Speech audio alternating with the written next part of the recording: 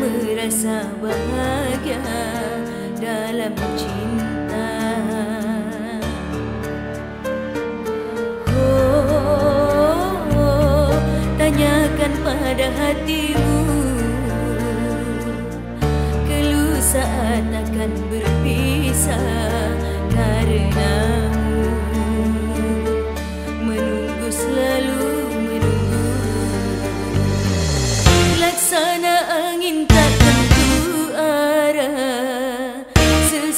kamu pergi dan datang.